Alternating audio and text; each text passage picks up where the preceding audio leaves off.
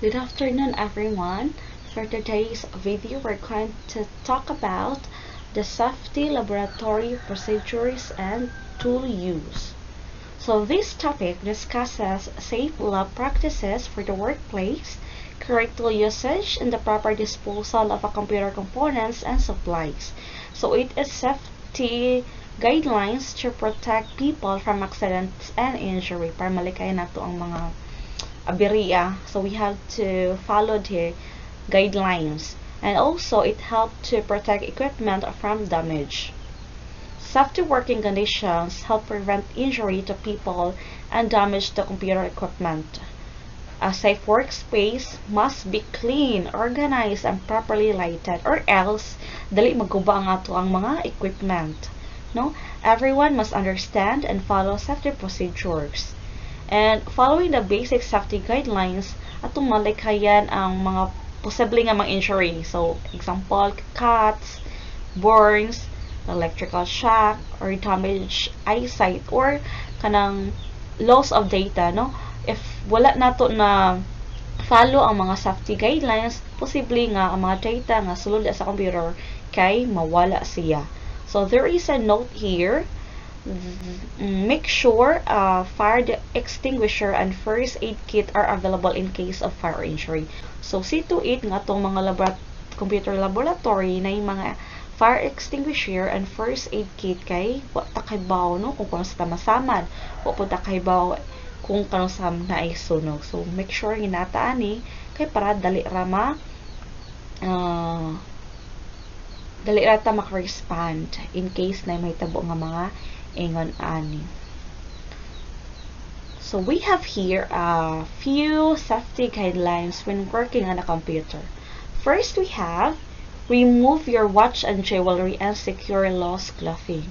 Next, turn off the power and apply equipment before performing service or else makurintihan ka dira or ma say tawag na ground ba na dira so make it make sure nga na turn off na ang mga power diha. Then, cover sharp edges inside the computer case with tape, kay basin o masamad ta diha sa mga hait nga mga butang. Then, do not touch hot surfaces. So, um, sa garag yun, ang mga hot, hot area, hot areas nga sa laboratory, kaya siya mga caution. Do not touch, uh, di ba, high voltage, do not touch, may nana. So, di na to siya hikapon. And, keep food and drinks out of your workspace. So, ginadili, dyan, bisan asa nga mga laboratory, no? Na naginay siya signage nga avoid eating, avoid drinking. So, dili ta magdaog food inside sa ato ang workspace. And then, keep your workspace clean and free of clutter. Kaya kung dili limpyo ang atong workspace, so, na tendency nga na yung mga mananap magpuyo ni ana So, may tendency nga muato na siya sa mga computer, no? Pangkutkuto ng mga wire diha.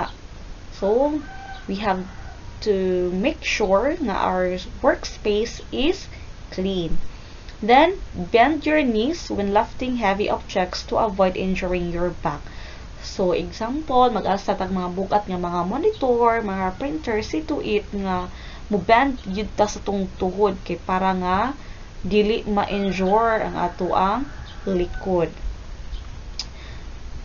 Next, we have the computer laboratory rules. So, there are six nga ako ang gibutang diri nga mga rules nga we have to follow. First, equipment and cables are to be moved by authorized personnel only. Dapat ang aturan yung ang mga authorized personnel lang gyud ang mga gilabutan na not unless nga gi-instruct kanta nga kwauna nato or ato na siyang hikapon.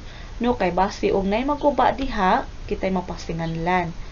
Next, chewing gum, eating, drinking, smoking, and any form of vandalism are prohibited inside a computer laboratory. So, ako nagingon ganiha nga we should avoid eating, drinking, yeah. Pakapinan pa siya smoking, and any form of vandalism, kay dili na siya maayo sa tuang inside sa ato ang laboratory or inside sa atong workspace. Next, accessing pornography sites is strictly prohibited. So, kung nanatay face-to-face na, o niya nag nanulod ta o computer lab, see to it dili jud ta mo access sa mga pornographic sites, no? Strictly prohibited na siya. And then, cellular phones must be in silent mode before entering any computer lab. Parang igsulod sa lab, di ta makadisturbo sa mga students or sa mga tao nga naa sa lab. And then, no illegal copying of any material. So, kung wala tagi wala gi tagi authorize sa pag-copy sa mga data inside the computer, so dili tamang copy. So, bawal na siya. No illegal copying. And then, turn off or unplug device before leaving the lab. So, see to it nga kung nagamit ta sa lab, ato man siyang turn on, and then before ta mo biya, atong i-check una kung naka-turn off ba tanan. No? Kay para nga walay aberya nga mahitabo. Next, we have safety procedures when there is a fire. Number one, never fight a fire that is out of control or not contained. No? And then, get out of the building quickly. Dili kay mag-selfie pa ka diha. Ah, nasunog. No? So, get out as soon as kuan, as soon as possible, no? Quickly. Get out of the building quickly. Kay para di ka masunog og kapil. Then, contact emergency services for help. Dili kay mag-selfie pa ka, mag-post pa ka, no?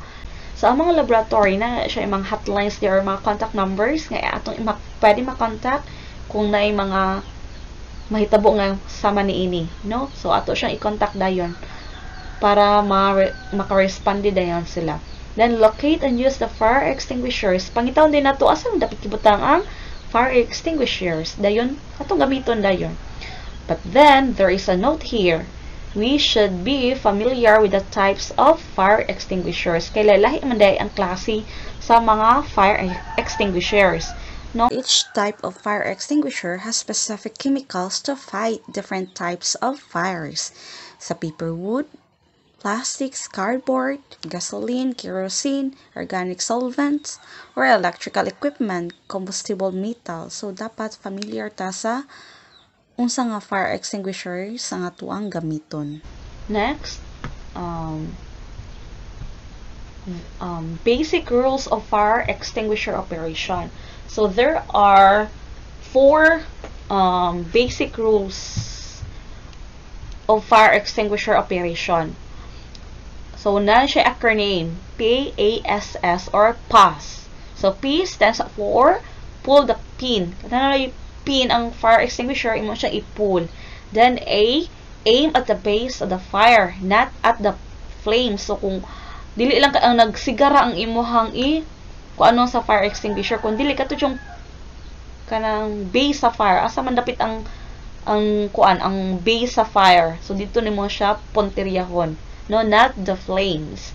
Then squeeze the lever. Then sweep the nozzle from side to side. So, pass. Muna ito itong hinumduman. Pass. P-A-S-S. Next, there are procedures also to protect equipment and data. So, kung naay procedures para sa atoa, para nga maka ma-prevent ta or maka-avoid ta sa mga injury, uh, we also have procedures to protect equipment and data. Kay di lang kay kita ray pwede maapektuhan but ang mga data inside our equipment pwede po na sa ma, ma maapektuhan. So there are causes of equipment failure. So first we have the electrostatic discharge or commonly known as ESD. So unsa man ni siya ang ele electrostatic discharge? So, kani siya, mo siya ang release of static electricity when two objects come into contact. So, para malikayan ng ESD, we have um, several recommendations din here. So, see to it, nga our components, keep all components in anti-static bags until you are ready to install them. Then, use grounded mats on work benches. Next, use grounded floor mats in work areas. Use anti-static wrist straps when working on computers. Next, we have the electromagnetic interference or the EMI. So it is the intrusion of outside electromagnetic signals in a transmission medium such as copper cabling. Next, we have the climate. So, climate po di ay, it can also affect computer equipment in a variety of ways. So, if the environment temperature is too high, syempre, ang atuang equipment can overheat, no? And then, if the humidity level is too low, the chance of SD increases. If the humidity level is too high, equipment can suffer from moisture damage. Next, we have the power fluctuation. Power, power fluctuation is the unsteady voltages. So, we, so when the voltage in the computer is not accurate or steady, computer components might not operate correctly. So there are also types of power fluctuations that can cause data loss or hardware failure. First, we have the blackout. So, blackout, it is common na nahitabo sa atoang lugar, no? It is the complete loss of power. No, it's a blown fuse, damaged transformer, or a drawn power line can cause a blackout. So, kung blackout, wala dyan kayo makitang kurinti. Wala kurinti. So, complete loss of AC power. Then, burnout. Burnout uh, reduce, reduce voltage level of AC power that lasts for a period of time. So, ibutan ta lang mga 12 hours na burnout. No? So, burnouts occur when the power line voltage drops below 80% of the normal voltage level. So, ang burnout, makaloss sa siya sa data or hardware failure kay kung dili for example nagamit ka sa imong computer diha yan di kay tag burnout so na tendency nga magguba gid siya ang imong equipment kay dili wala siya na properly shut down or nakay gi-input diha nga data unya wala nimo na save. So na tendency nga mawala to siya. Kay ni kalit o ka shut down ng imong equipment. Next noise. So ang noise sa di ay kay it's a type of power fluctuations that can cause also data loss or hardware failure. Kay nga naman sa maning noise.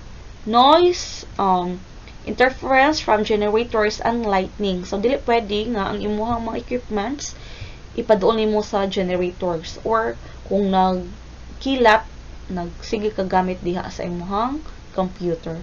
Okay? Noise results in poor quality power which can cause errors in a computer system. Next the spike.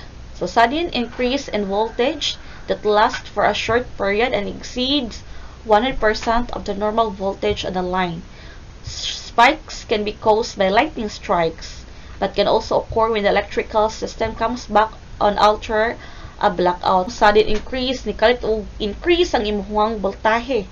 Makaguba sa siya sa imuhang ah, components or sa imuhang equipments. Next, we have the power surge. It is the dramatic increase in voltage above the normal flow of electrical current. So, ang power surge kay it will last only for a few nanoseconds or 1 billionth of a second. So, dali pa ni siya ang power surge. So, we have here the two um, power protection devices. So, syempre, na may mga hinungdan nga nung maguba itong mga equipments or nga nung mawagtang atong mga data. So, naapoy mga devices nga makaprotect ni ana, no? makaprevent ni ana ng mga kuan ng mga trahedya. So, there are two power protection devices. Common lang ni siya. Siguro sa, naipay mga pipila ka mga devices, pero kaning duha kay very common, no? Mo siya sa gara ginagamit.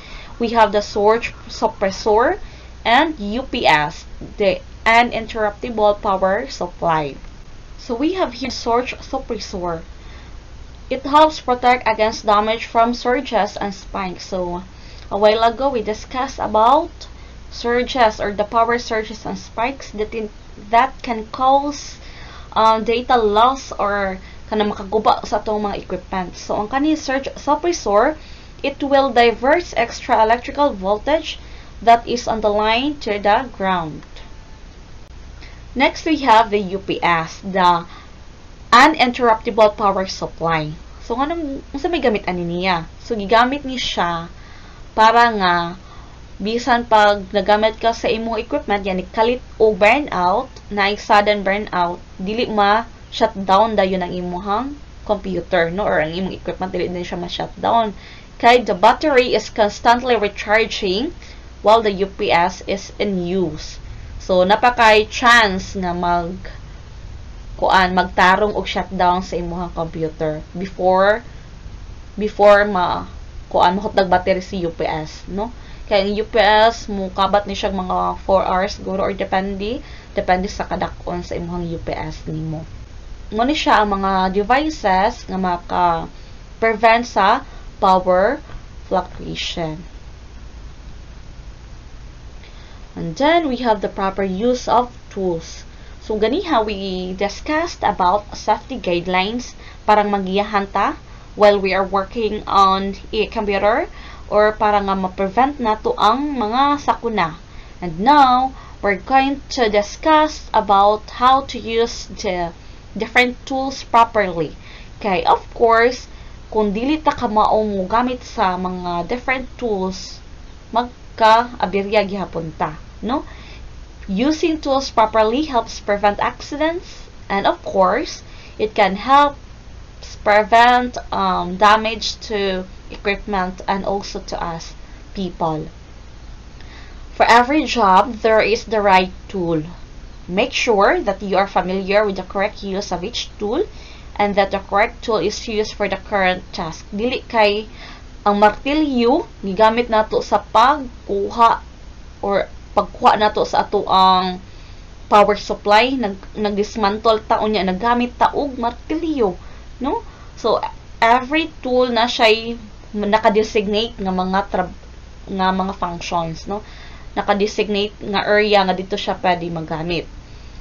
Skilled use of tools and software makes the job less difficult and ensures that tasks that are performed are properly and safely.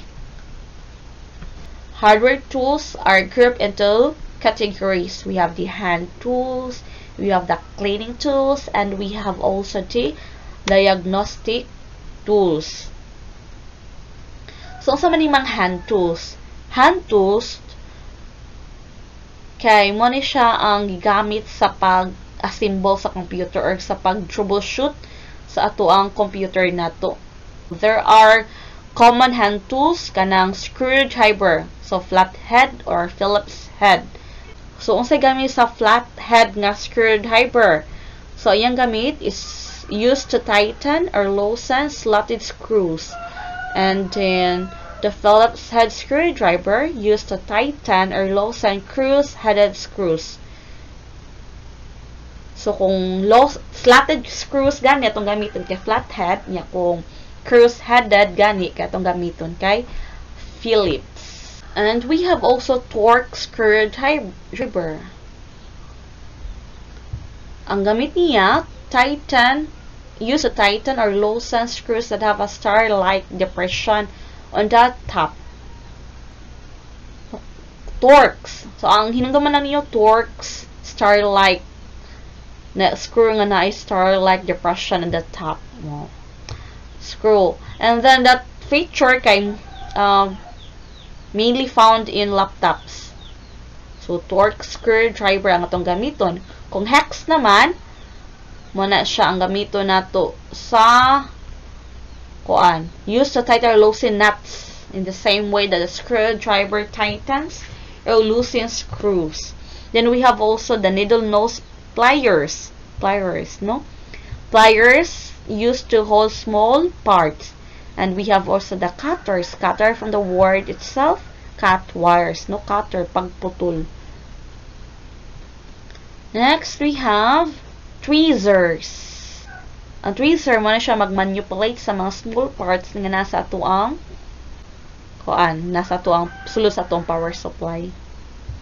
And then, the part retriever. retriever, pag-retrieve sa mga parts from locations that are, that are too small for your hand to fit, no? Na may mga part nga kuan na kayo lisod kay locate sa tong dagko nga makamot. So, gamito na to ang part retriever. Then we have flashlight. We use flashlight para nga makatarong tagtanaw sa mga part nga dili kay nato makita.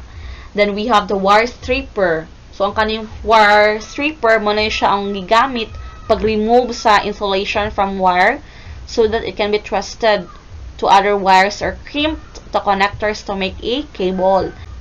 Next, we have the crimper. So, kato ganihang stripper, pag nang strip, imo strip ang wire, karon imo i-crimp ang wire nga gi-strip para ma-connect siya sa mga connectors, no? I-attach siya sa connectors ang katong na-crimp na nga wire. So, crimper used to attach connectors to wires. Then we have the punch down tool used to terminate wire into termination blocks. Some cable connectors must be connected to cables using a punch down tool. So, mo siya ang mga several hand tools. Now, we have the cleaning tools. Ang cleaning tools mo na siya ang gigamit when maintaining and repairing computers, no? Diba, niingon to ganiha nga situate nga our equipments kay permi limpyo, no? So, while naglimpyo ta, base unyag ato ang gi-make sure nato nga limpyo siya pero sa ato ang pag-clean the damage no ng atong equipment. So, we use the appropriate cleaning tools para nga ma-ensure nato nga atong mga computer components are not damaged during cleaning. So, we have um, four cleaning tools. First, we have the soft cloth. Soft. Um, gigamit ni siya sa mga uh, different components ato ang computer para nga dili ma-scratch ang atuang computer components or living debris, no? Soft cloth. Next, we have compressed air. So, ang compressed air, muna siya ang mag-tie-hoop or mag-blow away sa mga hugaw nga naa sa atuang computer parts without touching the components. So, di lang, di na kamuhikap, katurang gamito ni ang compressed air. Then, we have the cable tie. So, ang cable ties, mo na siya gigamit para nga nindot tanawon atong mga cables na hapsay, na arranged og tarong. Dili kay, hala, nag, nagtinong, nagtinandayay na lang atong mga cable wires, no? So, mo gamit ang cable ties para nindot sad siya pag arrange or nindot tanawon ang atong mga cables. Next, we have the parts organizer. Mo na siya muhol sa mga screws, sa mga jumpers, fasteners, o lain pa nga mga small parts para nga dili magkasagol-sagol kay naitanda si kung mag, mag kuan na kita magguba ta sa ato ang computer components kay nagsagol-sagol na dito atong mga butang. So we must have this parts organizer para nga di sila magsagol-sagol. Para nga kung mangita na tag kaning screw hala asa na itong screw? No naglibog na ta sa nato gi butang. Next we have the diagnostic tools.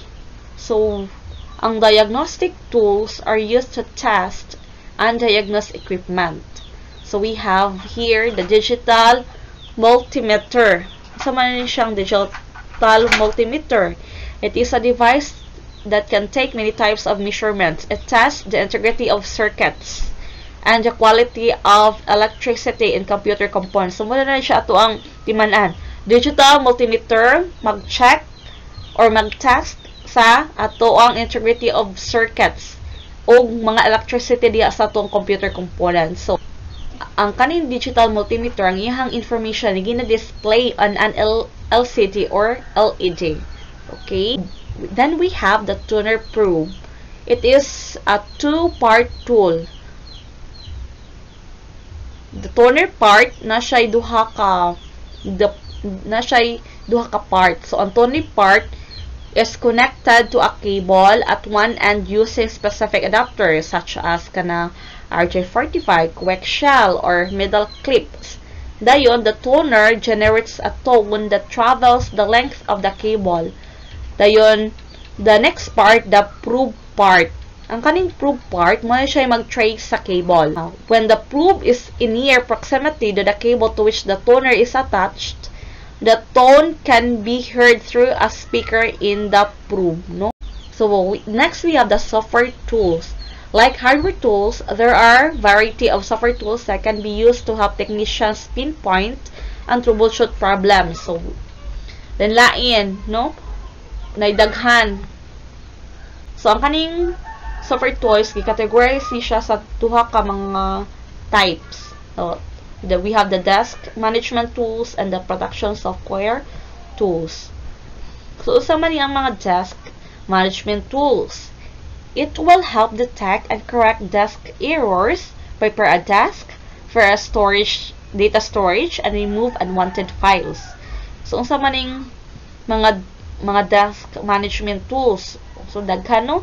So you can see here at the front desk management tools. We have the the F-Desk, Desk Management Tool, the Format, the Scan Desk, the Frog, Desk Cleanup, System 5 Trigger.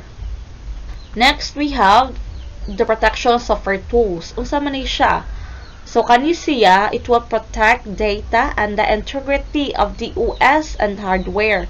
So, kung na ay mga malicious nga mga programs nga ning attempt og sulod sa atong software so kaning protection software tools mo na mag magpagawas or magprevent nga dili jud makasulod ang mga malicious programs. So we have here the antivirus at the virus program and the spyware program the firewall the action center nga mo ni mag mag-guard sa ato ang mga data against the attackers. Kay recent kay karon in our modern era we have a lot of kaana mga invento na nga mga viruses mga attacker mga spyware no?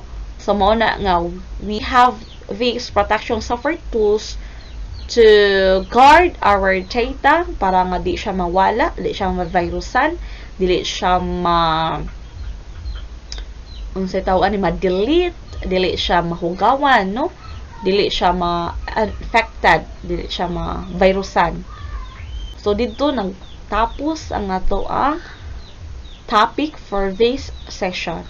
Thank you and have a good day